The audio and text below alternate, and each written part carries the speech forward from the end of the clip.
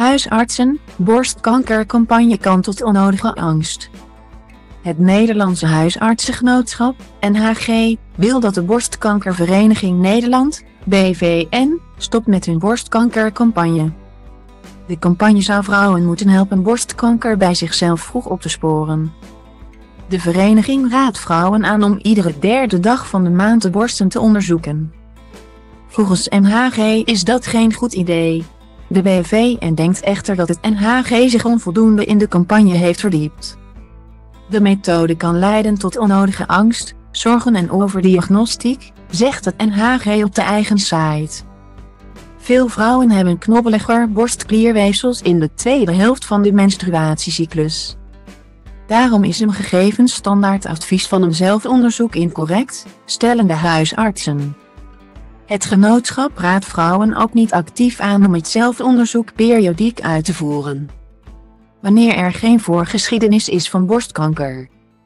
Het staat niet ter discussie dat het belangrijk is voor vrouwen om hun borsten goed te kennen. Stelt Erik Schepping van de Raad van Bestuur van het NHG.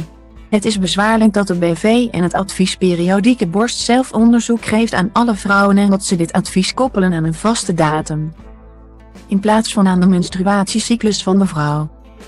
Directeur Christina Guerrero Paas van de BVM wijst erop dat in de borstkankercampagne wel degelijk wordt gezegd dat de derde dag van de maand niet altijd het beste moment is om zelf onderzoek te doen.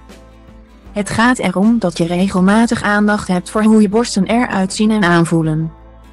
De derde dag is puur bedoeld als geheugensteuntje voor vrouwen voor wie dit nog geen gewoonte is. Uiteraard kan dit ook een andere dag zijn die beter voor jou werkt, staat verderop in de campagnetekst. Met de campagne hoopt de organisatie ook te bereiken dat vrouwen in het cijfer 3 een paar borsten zien. Je moet de drie gewoon een kwartslag draaien. Ze hopen dat vrouwen zich daardoor vaker bewust worden van het nut van zelfcontrole. De twee organisaties gaan volgende week om de tafel om te kijken of en hoe het een en ander zal worden aangepast.